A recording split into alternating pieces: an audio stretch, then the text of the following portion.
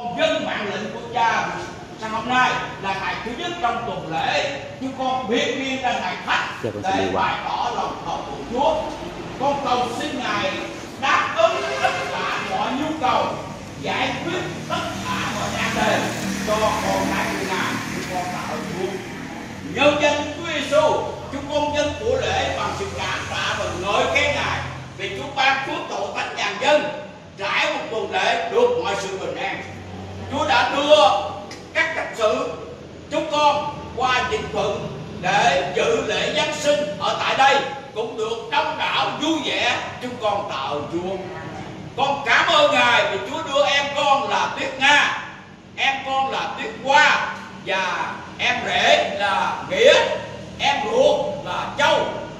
Là các cháu con từ bên Úc về Việt Nam, từ Vĩnh Long xuống thăm chúng con ở đây lại Chúa, chúng con xin dâng các em con, các cháu con trong tay ngài cho nên đưa các em, các cháu con về đây bình an thể nào. Thì trưa hôm nay, Chúa đưa ba em con về Vĩnh Long. Và ngày thứ hai, Chúa đưa các em và cháu con về Úc xin Chúa ban ơn. Những ngày ở tại Việt Nam, con cầu xin Ngài ở cùng và ban phước cho mọi sự đều được đẹp lòng Chúa. Bây giờ con nhân danh Đức Giêsu là đấng đã mang những lần đòn trên lưng của Ngài. Và Ngài hứa với chúng con rằng nhờ những lần đòn đây Chúa sẽ dùng để chữa bệnh cho chúng con. Lại Chúa con cầu nguyện xin Chúa ban phước cho tổ dân uh, ờ, Tình và đổ Văn Tích là chồng của em con là Tuyết Nga. Cảm ơn Ngài Chúa đã sắp đặt để Tích có thể về nhà và Nga có thể về thăm chúng con ở đây.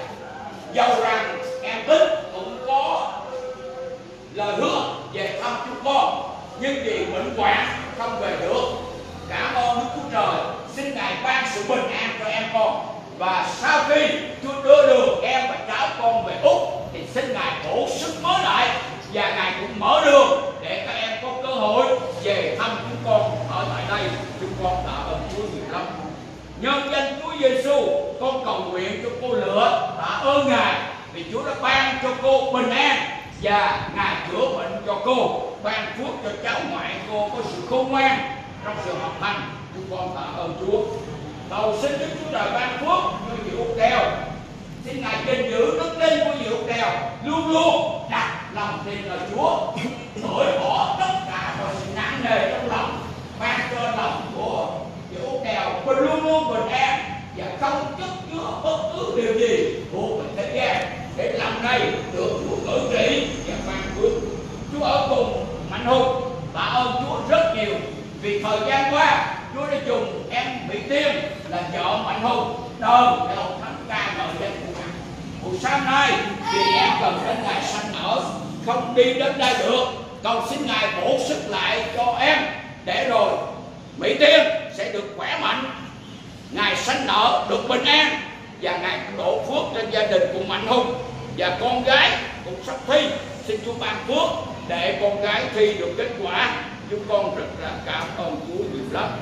Nhờ danh Chúa Giêsu con cầu xin Ngài ban phước cho cô Tú ở ấp 10 thời gian thì hoàn cảnh khó khăn gia đình phải đi làm ăn xa nhưng Chúa đã ban phước cho cô Tú luôn luôn nhớ đến Chúa dầu ở nơi nào làm việc gì cô cũng có lòng nhờ cậy Ngài Chúa ban phước các con cũng có cơ hội để gần gũi với mẹ để làm công việc Chúa xin Ngài ban phước cảm ơn Chúa Ngài đã ban phước cho vợ chồng của cô đã có công ăn việc làm và Ngài ban phước cho gia đình được bình con rất là cảm ơn Ngài để chúng tiếp tục làm ơn để hộ thánh nhà dân. Và con tin rằng Chúa không bao giờ quên chúng con. Ngài đã ghi tên con trong lòng bàn tay của Chúa rồi.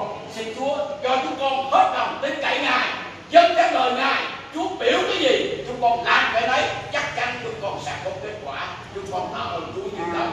Con kính cẩn dân thì giờ trọng thể này cho cha. Và cầu nguyện bấy nhiêu đời. Nhân danh của Chúa Giêsu Christ. Em nhận biết ngoài hội thánh chúng ta